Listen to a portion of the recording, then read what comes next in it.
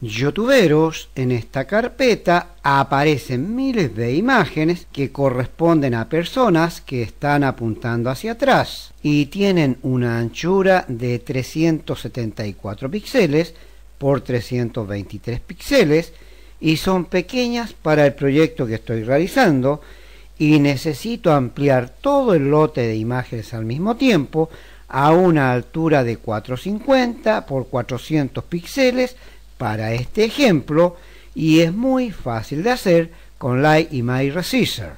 Ahora vamos a aprender cómo reducir o ampliar todas las imágenes al mismo tiempo. Lo primero que tenemos que hacer es crear una carpeta para enviar las imágenes que vamos a aumentar para este ejemplo. Y por nombre le ponemos imágenes convertidas. Ahora destacamos todas las imágenes y las arrastramos dentro del Image Resistor. Damos un clic en siguiente y en la pestaña perfil ponemos 450 por 400 píxeles para este ejemplo. En la pestaña formato elegimos PNG ya que estas imágenes no tienen fondo ni nada detrás.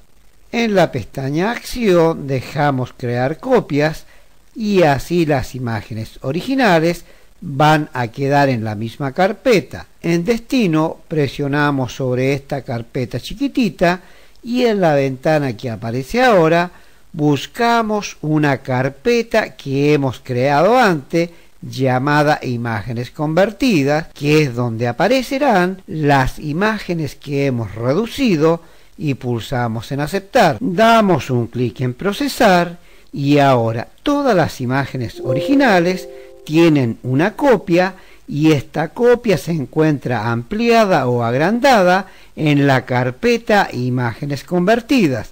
Así de fácil y sencillo.